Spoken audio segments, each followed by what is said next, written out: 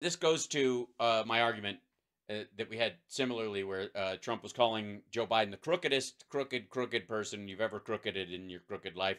And uh, the argument being, of course, that if he was that crooked, shouldn't he be in jail by now? If he was the most crooked ever, then it should be easy to find the evidence. But apparently, um, they found a lot of criminal activity, is the argument.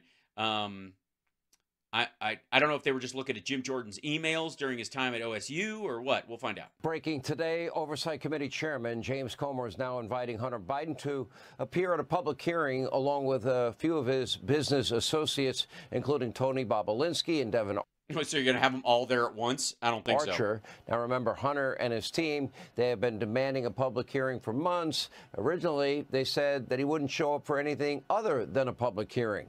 But now, well, not so sure. After his deposition, Hunter's lawyer said, quote, oh, there's nothing left to say. Oh, there's plenty of questions to ask. So uh, it's to be determined in terms of whether Hunter will show up or not. My guess is uh, that was nothing more at the time than a PR stunt to get him that worked. out of the deposition. Here with the very latest House. How would it? It couldn't get you out of the deposition unless they they you knew the Republicans were going to fold and not bring you in in public no matter what. I, I think he basically called their bluff is essentially it, and they agreed that there would be uh, a public hearing after. Oversight Committee Chairman James Comer is with us. Uh, now, the the general practice is that if you subpoena somebody, they come in, they give a, a deposition, they give it under oath. Both Republicans mm-hmm. and Democrats. My understanding is you get an hour each per side. Then you go an hour, you switch on and off. Correct? That's correct. How did that's what actually happened? That, how did that go when Hunter was in there, in your view? Yeah, you, you, he's not the guy you want to ask, uh, Sean, because he fucking left. I don't know if you guys know. He left. He never asked Hunter Biden a question. He left. He didn't stay the whole time. Here's a good idea. Ask somebody who who was there the entire fucking time. I think it went great. You know, the yeah, especially the early. I mean, the beginning went great. The first couple of minutes were great. They were awesome, awesome. Uh, like first half, half hour, a little under half hour was great. Uh, Republicans, uh, we went the first hour. Uh, we mm, well, you went during the first hour. I think went out you asked a lot of questions in that first hour, substantive questions about specific transactions uh, with some of these shady uh, LLCs that the that the president's son had, and uh, we got him on record. Uh, I'm not going to say yet whether or not uh, we believe the the truthfulness of what he said about some of the transactions and, and some of the wires and some of the sources of the money, but we did that, and that's what a dep. Well, why not? You already released the fucking transcript. Everybody knows what you're talking about. Say so. Call him a liar. If he lied under oath, fucking say so. Just it should be self. You asked really substantive questions about these transactions, about these shady LLCs. So if you know, then fucking say so. You you've interviewed James Biden. You've interviewed uh, Galadzi or whatever his name was uh, and Bobulinski and Devon Archer. You've had all these people under oath, full depositions. Go for it. Position's all about. Then the Democrats had an hour, and they spent. They only took 20 minutes of their hour, and they were telling them how proud they were, were of him that he uh, overcame his drug addiction and all that. I mean, it was it was embarrassing how the Democrats treated. Him. They're not serious. How would you know? Serious about an investigation. They're not because there was no there there, and also they made it, and they weren't asking him those questions they clarified a bunch of the bullshit that they were trying to dirty him up with in the first hour and and sank their entire argument. It upset the Republicans so much that when Gaetz ended up asking a question, he ended up just having to kind of like throw shit around like he was at a hearing. Serious about preventing influence peddling. They're not serious about holding one accountable. Influence peddling. You mean during 2017 when Donald Trump was fucking president and Biden wasn't, and he still wasn't in business with Hunter? What what influence? But we did that deposition. We got a lot of substantive answers. But yes, you did. You got substantive answers to dipshit questions. What we found was his answers, believe it or not, Sean, are very different from what his associates' answers were. Uh, right, because they were talking about what they thought he was doing or saying or thinking, and he told you what he was actually doing or saying or thinking.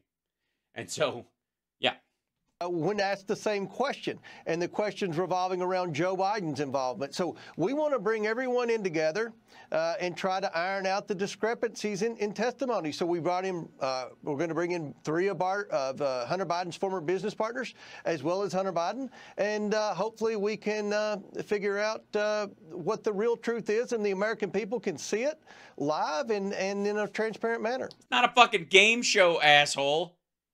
He, he's not going to sit there while Tony Bobulinski spews his bullshit. And uh, what what do you want him to do? Get into a fucking shouting match? Go, like, what a bunch of nonsense. Like, obviously, it'd be great TV. I don't don't get me wrong. Why do I suspect that that was a PR ploy to try to get him out of the deposition? Because you already said you thought that before. And Where the real questioning takes place, because a lot. Why would the real questioning take place during a live deposition where you've only got five minutes for each person's questioning and you can you can do point of order and and basically run out the clock. Why would you wait? Is that is that the idea? That comer left the room during the first hour of the of the private deposition because that's not where the real questioning is and we'll deal with it later. That's that's what you think really happens. A lot of things probably that you've been asking him behind closed doors under oath are not things that maybe the public could know about. Uh, what? Oh, oh, you mean the people, the public that can't what read? Why don't you tell us about it, motherfucker? Why don't you tell us? He's sitting right there. Ask Comer what the what what the any of the questions the Democrats asked in the second hour. What was it? What was, what was the look on people's faces? Ask him that. Or how about this? Fuck the Democrats. Ask him about the second hour questioning the Republicans did, and how what what the what the air in the room is. Help him. Ask him to paint the picture of it, Sean. Let how about that? How about let, let him walk you through, bring you really into it. You know, like you were there, even though he wasn't. So I, I think it's doubtful. Uh, now I understand the issue of criminal referrals has come up. Are you prepared to bring criminal referrals to some of the people involved in this uh, family endeavor, if you will? I'm very prepared, Sean. Uh, the, the, With what? The purpose of this investigation was to get the truth to the American people, and and uh, so far the truth has been you don't have any evidence. Then hold people accountable for wrongdoing, and we found a lot of wrongdoing. We found a lot of criminal activity. Oh yeah, criminal activity. What do you mean, like criminal cosplay, or they were just a bunch of criminals playing squash, or what? Involve uh, multiple people involved in these schemes. what do you mean, Devon Archer and and Galazi or whatever? They like who are going to jail for defrauding Indian tribes. So we're going to do what we can to hold them accountable. You know. Uh huh. At the end of the day, what does for accountability look like? Yeah, I agree. This is what accountability looks like. What do you mean? It looks like criminal referrals, it looks like referring people to the Department of Justice. It looks like it. It's not, but it looks like it. And uh, if Merrick Garland's Department of Justice won't take uh, any potential criminal referrals seriously, then maybe the next president uh, with a new attorney general will. Uh, at the end of the day, mm-hmm. my goal's always been accountability, and I think that's how you actually hold people accountable. Look. Yeah, accountable for um, for um, accountable. For, uh, there was a thing. There was um, hold them accountable for. Fuck, I don't. It happened. I remember it happened in 2017, and I I remember you hold. You got to hold politicians. Obviously, none of them were politicians at the time, but you got to hold people in who have influence. You don't have any influence because Trump was president, and he certainly wouldn't listen to Joe Biden for fuck's sake. Um, you, you had to hold them accountable for yeah. We've got to set an example uh, for people that. Oh, you do. You certainly do. You're a fantastic example of a, a whiffling of a wiffle ball swing and a miss. That's what. Just. Yeah. Just not hitting shit. Just gutter ball after gutter ball after gutter ball. Great example. What not to do commit crimes. And in addition to the crime, Sean, what we found is a cover up. Uh, well, I mean, obviously, um, you found more cover up than crime because you haven't actually found any crimes. I would like to name names of people that were involved in the cover up. Uh, Go ahead. Look, the Bidens have been investigated by the Securities and Exchange Commission, by the IRS, by the FBI, by multiple U.S. attorneys in multiple districts within the Department of Justice. During the Trump administration. But yet nothing No. ever happened. Yeah, it's it's weird. It's all that lack of evidence thing. Fuck. We need to hold people in the government accountable because we have government agencies. We spend a lot of money uh, paying these investigators, uh, paying for these investigations. Uh huh. And they and if they can't find a crime, they should just make one. And people should be held accountable. We should not have a two-tier system of justice in America. I agree. Trump needs to go to jail. Thanks. We we finally agree on something. And by looking at all the Biden activity, it's Activity. It's obvious we do have a two-tier just, uh, just criminal justice system in America. Yeah, well, that's just because you can attack, I guess, private citizens using the power of Congress and and, and protect Trump while he's president. Is that what you mean? Can, can you explain his Mm, careful, careful. I'm gonna go with no. answer on the WhatsApp message? Uh, I believe it. He said that he was out of his mind, either high on drugs or drunk at the time. I've looked at the message many times. It seems fairly coherent for somebody that's claiming to be out of their mind or high on on drugs or or or you know stoned out of their mind or drunk. Uh, and it's Well, he was a he, he was a functional alcoholic. I'll give you that. It's that. interesting because my understanding is he didn't remember a single thing, didn't remember uh, if he sent the message, didn't even know if the message really came from him. Uh, but he did remember one thing that his father wasn't there when he sent the message. I find that highly suspicious. He Why? That would be kind of the big element of it. Because he, was- he knew he was making promises that weren't true or he was making threats that weren't true, would be the idea. Got everything else about the message except the fact that Joe wasn't there. That I remember.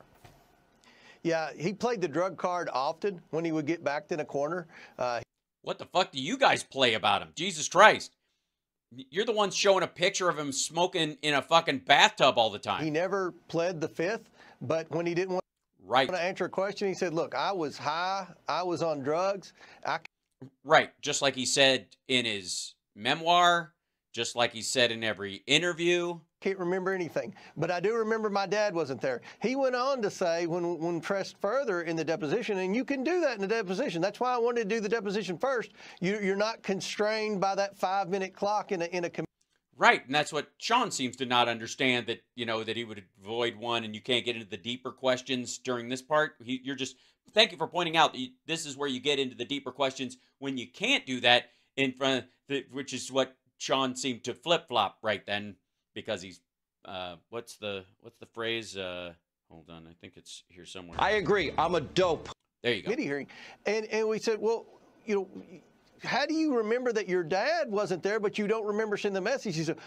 Well, I don't believe I sent it to that particular Chinese person. That that last name, that's a common name in China, and I think I sent it to another person. But what's odd, you look at the, the at the WhatsApp stream, and that person kept responding back to, to Hunter Biden. They were communicating back and forth. It's obvious. And at the end of the day, what Hunter Biden was doing was extorting money from that Chinese national. Okay, if he's extorting money from the Chinese national, then they certainly don't have power over him. Let's just establish that.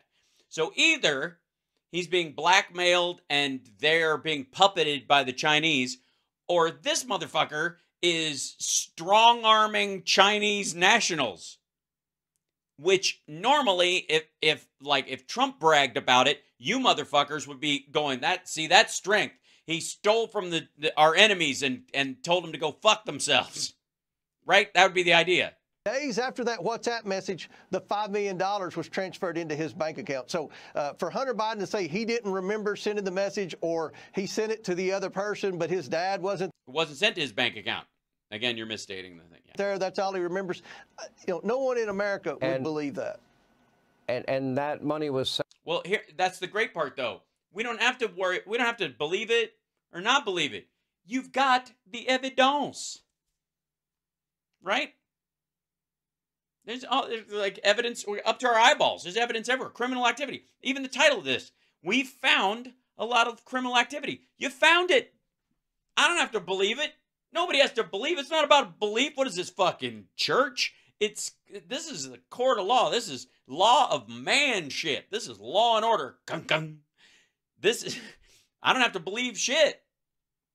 You got the receipts? Let's see it, motherfucker. And only days later, if my Days memory later. serves me right, Probably doesn't. correct? That's correct. That's correct. Well, well, let me then ask you this question because I think this is important. What do you mean if your memory serves you? Like you just repeated what he said. And by the way, he was arguing about the money being transferred for the deal. You put the seed in money in, or I'm not moving further on this fucking deal, and you've been wasting my fucking time. That's the argument that's being made in that WhatsApp message. If you don't come through on this, I've already started building relationships on the idea that we're actually going to create this terminal and this is actually going to fucking happen. And if you guys don't live up to your end of the bargain, I'm fucking done with you. And everybody I know is going to be done with you. And my dad is going to shit talk you to everybody if they ever ask about what, whatever happened to that deal your son was making with that thing. I'm going to let him know that you're a piece of shit and you don't live up to your side of the uh, bargain. Click. That's essentially the argument that was happening. So, of course, it, uh, all the money showing up five days later is that the deal started. It wasn't even their fucking money. They didn't get to keep it. It was investment money. It was seed money. It only became Hunter's money for the legal services that he gave in forming the company in the first place, which is what Bobulinski's pissed about because he wanted more of it and he also wanted more votes and more control than anybody else in the company, which is fucking hilarious. But even after that, the rest of the money didn't end up going into their accounts or they didn't get to keep it until it fell through because the Chinese company would not set up an American subsidiary. Can you confirm, and has your committee confirmed, uh, whether or not Hunter was at Joe's house and whether Joe was there at the time that the messages went back and forth? Well, that's uh, that should be an easy one, right? If you look at the laptop, uh, that Nope, doesn't work that way. particular day, there are pictures of Hunter in the house on that particular day. Now, we we haven't confirmed whether or not Joe Biden was at the house, but it was. That would be a no. But Also, what the uh, yeah? First of all, there is no laptop. Uh, secondly, the it, he doesn't actually cop to that message being real. But the argument, you know, if it happened, it was about those kind of things. That's the point he was trying to make. He didn't remember making it specifically, but that's the problem with with digital files that have been fucked with. Some of it's real, some of it's completely fake, some of it's partially fake. All they do is add a couple sentences here, do other stuff like that. And all none of the pictures on the laptop have any fucking metadata. None of it. This whole bullshit like here's a picture of him from that day. Bullshit. No you don't. Hunter Biden was at Joe Biden's house that particular day, according to pictures on the laptop. So, you know, the That's not a source. No, he was that. No, he wasn't. There's no metadata. There's no like he's been at the house before and after and during and whenever. It doesn't matter.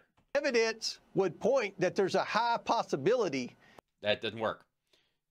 I it would be real easy to figure out. that Joe Biden was, in fact, sitting beside his son. But Hunter said uh, under oath that even though he was dr- high and on drugs, he couldn't remember anything except that his dad wasn't sitting beside him when he sent that He remembered lying. message.